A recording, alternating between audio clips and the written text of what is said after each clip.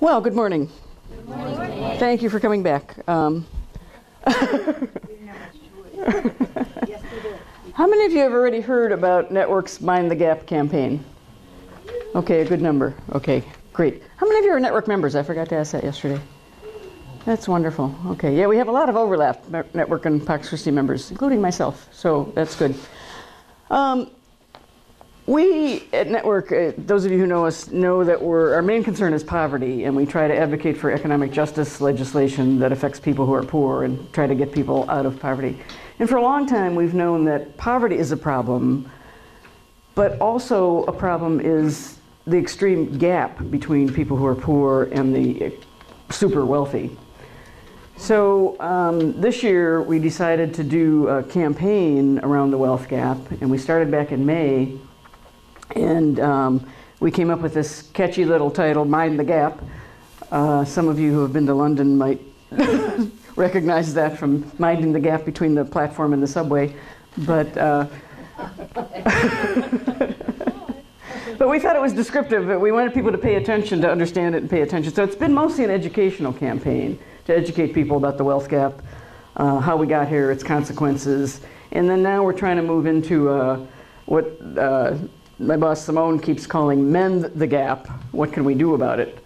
Uh, so that's where we're going to move from here.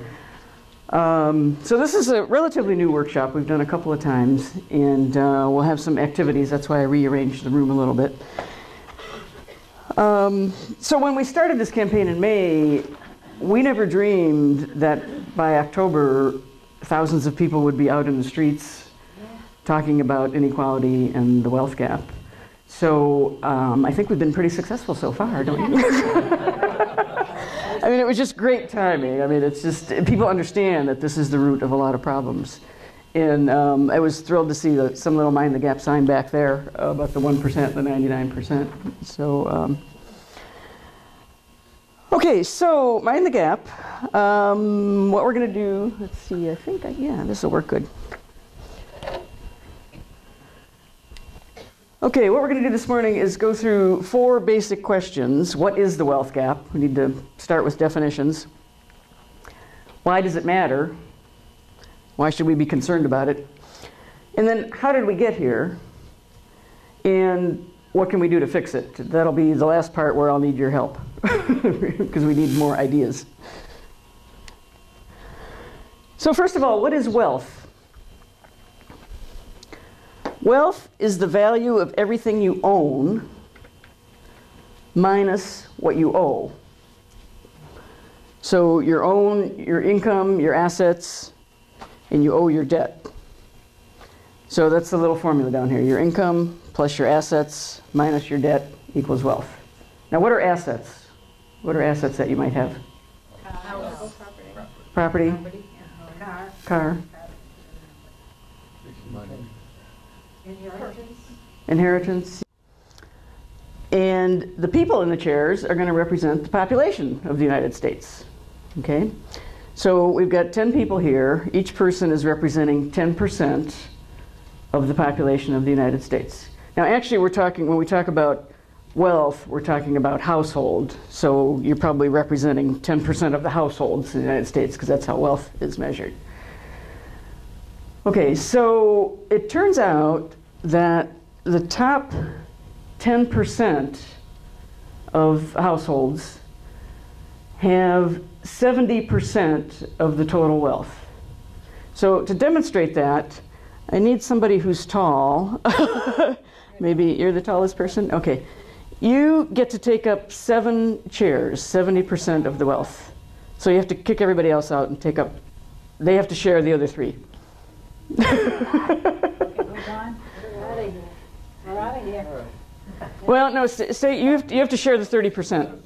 The rest of you have to share the three chairs.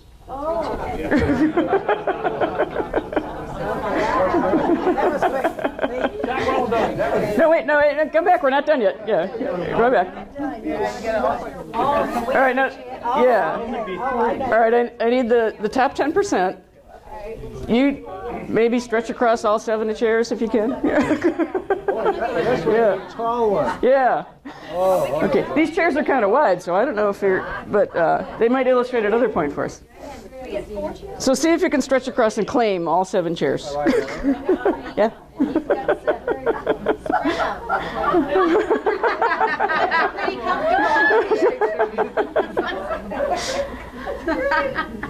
Okay, now, because of the kind of chairs that we're using here, sometimes people lay down and can stretch across seven chairs. Um, it looks like he has more wealth than he can even handle. okay, so that's the top 10%. The top 1%, what would 10% of your body be? Maybe an arm? the top 1% would have three, over 30% of the total wealth. So your arm alone would take up three chairs. Yeah, yeah. Okay. So, how do you feel about having this much wealth? oh, I like it. And what about you people down at the bottom? How do you feel? Okay, well, this, this is much too nice of a group to, uh, to generate any conflict among the bottom uh, 90% here. But okay, thank you very much. You can. Uh, this is before the recession. Um, the top 1% had about 34% of all the wealth. That was, you know, like three chairs, one arm's worth. And the top 10% had 70%. Uh, and then the doesn't go quite. But the 66%, this is the bottom 99. If you're looking at the top one versus the bottom 99, and these are the we are the 99 uh, that people are talking about. So the bottom, um, the bottom 90% would have the three chairs. That would be part of that 66%. But the bottom 99 have 66%. Okay, make sense? And it turns out this is 2007. In 1976 the top 1% had 22% of the wealth. So you can see how that's grown.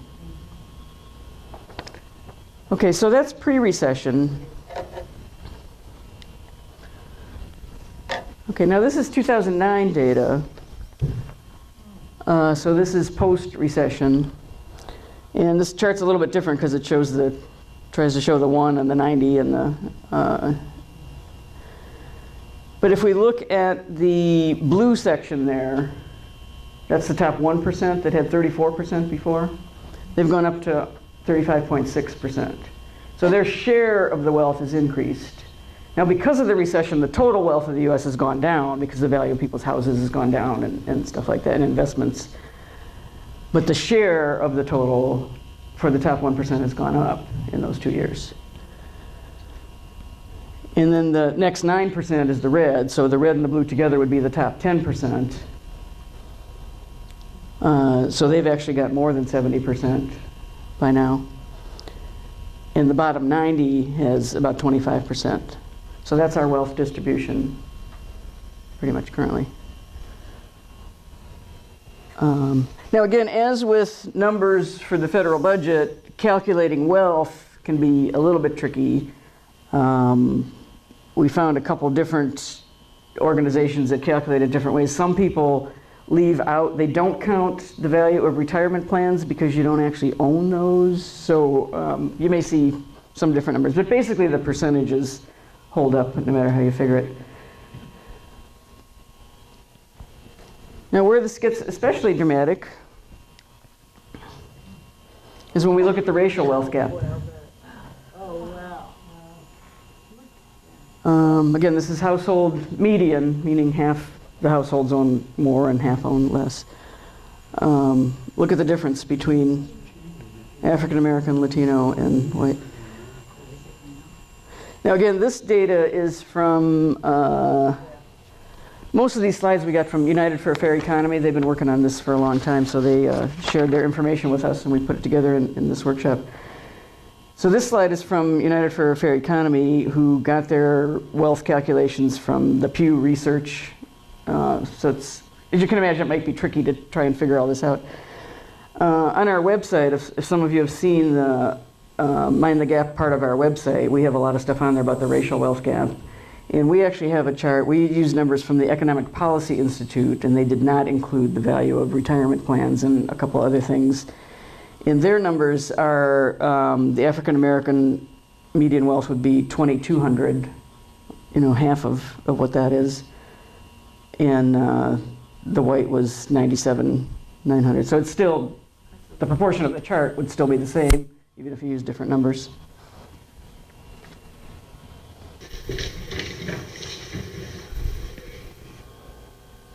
What is power?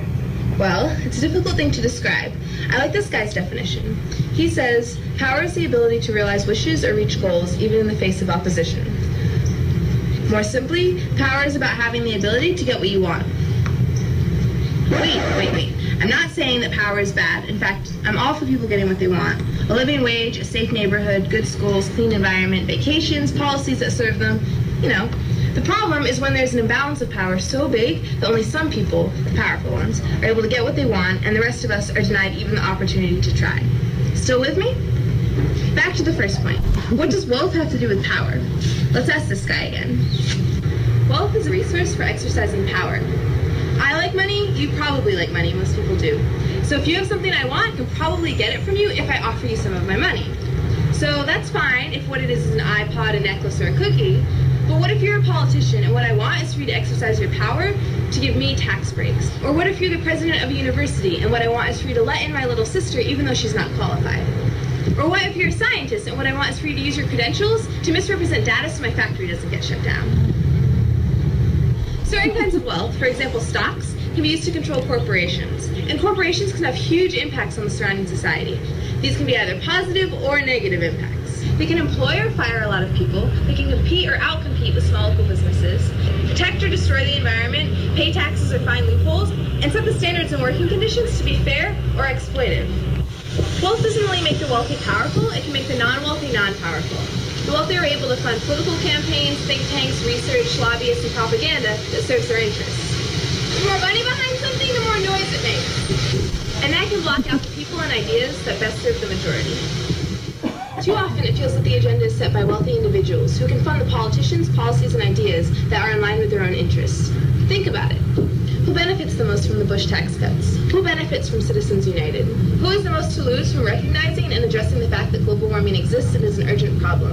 And who is the means and motive to defy the majority and popular opinion in all of these instances? Why, over the past 30 years, have 90% of Americans had to pay higher healthcare and energy costs, put up with reduced benefits and higher taxes, and yet seen no significant increase in their actual wages?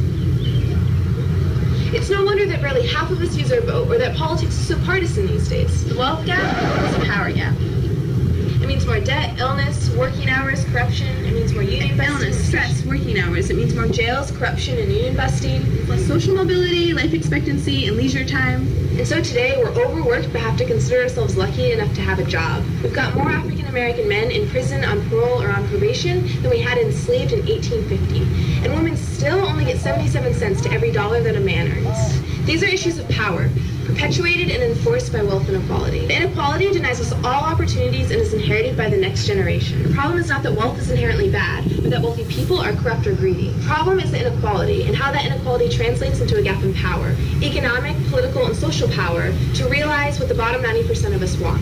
And the wealth gap actually affects everyone negatively. It weakens and erodes our society's health, opportunities, and democracy. We know that this wealth gap is happening and that it's getting worse. So now we have to ask ourselves, is this what we want?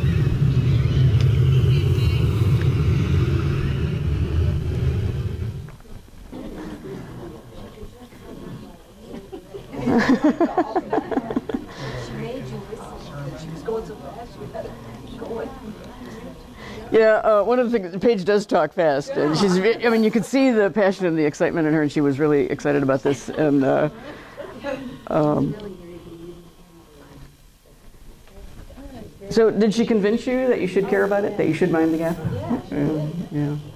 Uh, and that's how it relates to politics, is, is the power piece of it.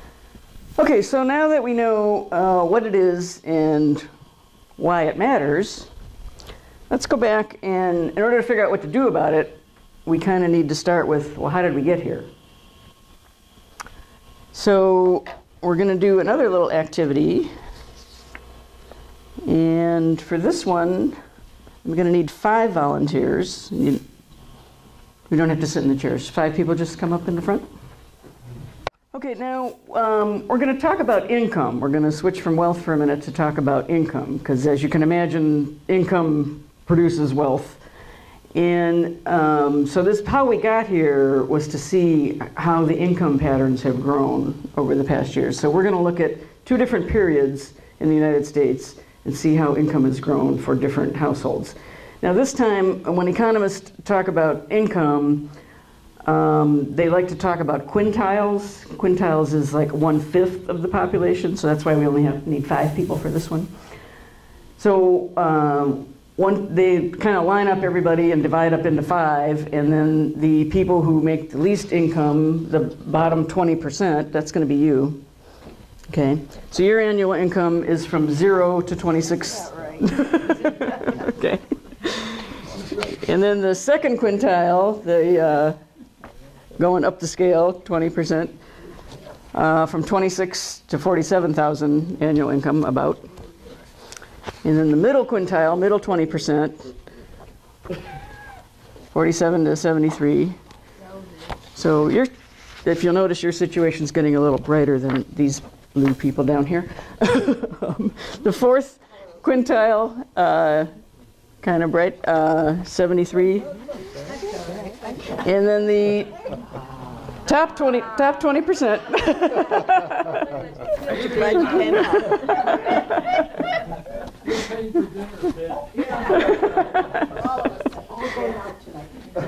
Okay. So the top 20% of, again, uh, households would be 112.50 and up. And we'll talk about end up in a little bit. Okay, so who are these people? What kind of people would make up to 26,934? People at McDonald's, if they were lucky. Service personnel. Service? Public laborers. Is that what you are? But when I started, Beginning teacher. Beginning teachers? That's right. That's right. what I make. Chaplain. Social worker. Social workers. Hmm. What about the second 20%? I can tell you if you work for a nonprofit Catholic social justice There lobby, you you'd be are. in that range. Yeah, Who else would be in there? Not for profits. Nonprofits, probably. Okay, what about the middle? Just- um, um, Middle. And managers, early managers. management. Middle Middle management. management, Middle management. Middle management. Yeah, engineers. Good salespeople. Hmm. Yeah, and some of these, some of the small business or the good salespeople might even move- be moving up to that fourth 20%, right? The 73. Physicians. Okay, and who's in the top 20? The top 20 attorneys. 112,000? some, Are we missing? some attorneys. Oh, I kind of skipped, yeah, I- You skipped him. 70 to, Vice president, University, university professors. professors, yeah. Un- Untenured.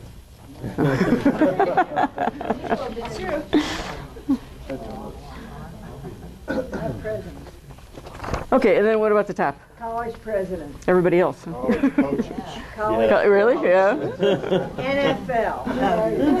Athletes. Everybody with the NFL. Virtually every executive in corporate America wears. Right, right. Every, Not Hmm. every CEO, And entertainment, Doctor, pay people who entertain every And probably position, lot of retirees. Positions, lawyers, dentist. attorney, Professional bishop. Okay, well, I think we got the idea of who these people are. Okay, so now um, we're going to create a little human chart here, and I think it might be better to like move over to this where there's an aisle here. We're going to have you walk down the aisle. So bunch over here, like in front of the screen. Keep in order here. Okay, now we're going to start with the bottom.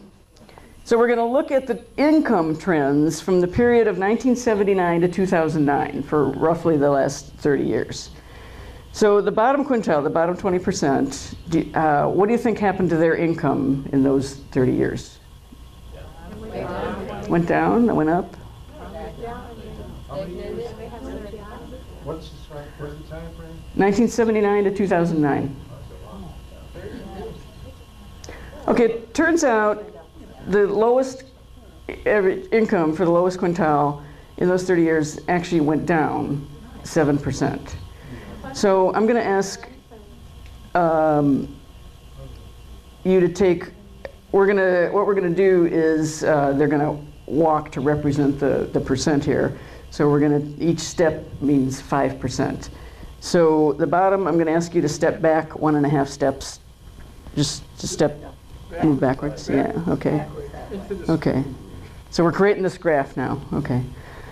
Okay, so the second 20%, um, their income in the last 30 years or so is increased by about 4%. So you can take about one step forward.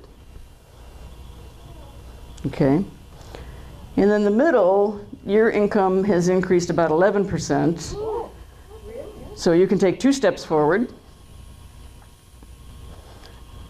And the fourth highest, your income has increased about 23%, so that translates to about four and a half steps forward. Okay, and then the highest quintile, your income has increased 49%. So 10 steps forward.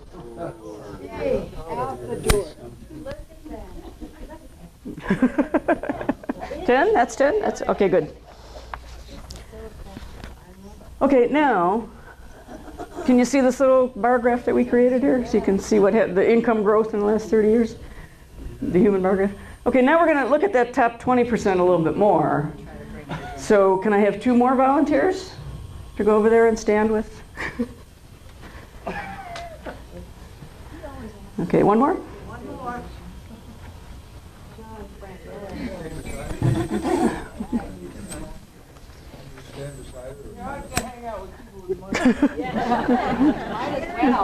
Okay, so I got to talk loud. to- My phone won't work here, but okay. So the, this group of three now represents the top twenty percent, the top quintile. Um, and no, you keep that. We're going to break that down. You are the top five percent of households in the country who make more than two hundred thousand dollars. These are the, you're the ones that Obama wants to tax more. Okay. Hmm. Okay, and you are the top 1%. Top 1% makes 1 million 200,000. Okay. At the top again. That's right. Well, uh, see, it makes sense. Okay, so starting from where starting from where you were with 10 steps ahead of these people, um, the top 5%, your income in the past 30 years increased 73%. So you're only at 49. So you need to take five and a half more steps beyond where she is. Top 5%. In the top 1%, you're exactly right. Your, your income has increased 170%. So you so starting here, you need to take 24 more steps. I think you're out on the patio. Okay.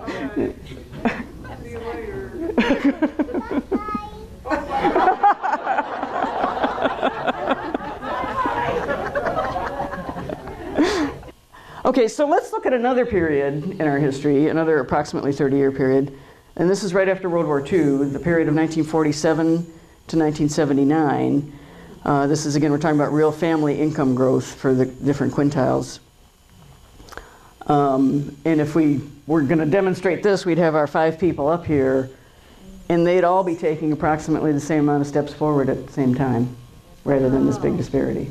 Isn't that interesting? Isn't it? Pre-Reagan.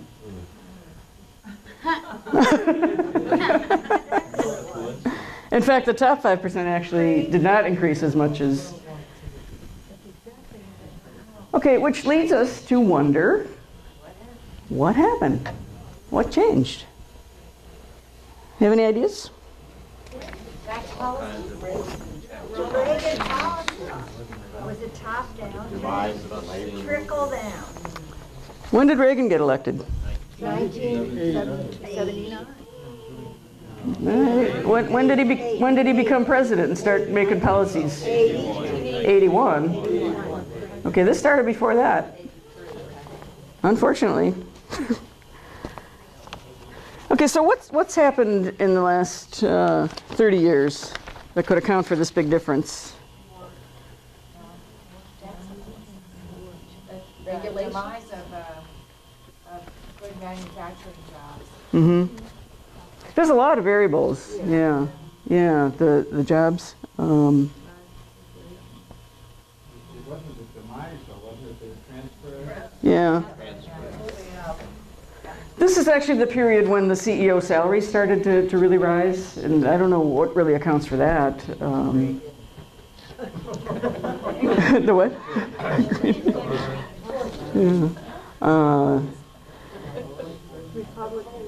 There's also a radical increase in consumer bad decisions, which are probably manipulated too. So I would say that ra- the radical decrease in regulations, mhm. uh, just look what's going on with student loans, the devastations. Yeah. Uh, So the people, many people at the bottom simply made poor decisions and were taken advantage of. Yeah. Didn't have. Yeah, and, and credit, credit is a big piece of this. We have some stuff on our website about credit. And credit, the, it was easier to get credit during this period. So that's why it wasn't obvious that there was this big disparity because the people that, whose incomes weren't rising were borrowing to make up for it. And so now it's just becoming apparent with the uh, recession and the housing crisis and stuff like that, that we had way too much debt and now we can see the big disparity. Um, the period of 1947 and 1979, the post-war period, the goal of the government was to create and build a middle class. And so we had things like the GI Bill that helped people buy houses and helped them get educated. Um, and they were funded by relatively high tax rates on people at the top. Now, it's important to note that the GI Bill didn't help everybody. If we go back and look at that racial wealth gap, we know that that didn't really help um, minorities. And then from 1979 to 2009, roughly starting with Reagan, but the trend really started before that, um, some other variables. Um, it seemed like the goal of government then was to let the rich accumulate great capital in the belief that it would trickle down. Remember that trickle down economics? Um, so different ideas. So at the top, um, this top 1%, top 5%, a lot of their income comes from assets or investments that they're creating um, income on. And that gets back to they didn't really work for it. They just accumulated all this money and invested it and get, get money that way. And, and they're probably the property owners, rental income, stuff like that. Um, so these are the things we need to look at the policy changes that reinforce the power shift to the top. Um, the anti union climate became harder to organize. Um, trade treaties benefited mostly corporations, not so much workers. Taxes, uh, the taxes on investments have really gone down from where they were. Public services are being cut. That's affecting the workers in the lower quintiles. And then the minimum wage, uh, you know, we said income was a big part of building wealth. And if the minimum wage isn't keeping up, let's, let's jump ahead here. Um, these are the, the values of the minimum wage versus the living wage. In 1968, the minimum wage was 94% of the living wage. 1979, it was 81%, dropping a little bit. In 2009, minimum wage is only 68% of the living wage. So even though there's been little increments in the minimum wage, it hasn't kept up with where it should be. Yes, and what we've ended up with is a wheel of misfortune. and you could start wherever you want on here. Maybe start with uh, decline in political participation leads to power shift to corporations and big investors, exactly what you're talking about.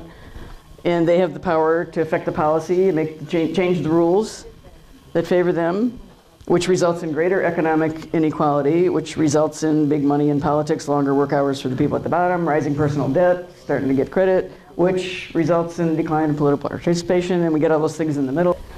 Um, so what if we wanted, what would a wheel of shared prosperity, this doesn't have quite the ring as a wheel of misfortune, but um, again, we could start anywhere here. Broadly shared prosperity would lead to more time for democracy and meaningful elections, stronger unions, political participation, kind of the opposite of what we had before, rule changes that benefit everyone. So this is the part where we talk about how do we get from here to here? And I think this may be a good time to talk about what the things that you wanted to bring up about the corporation thing.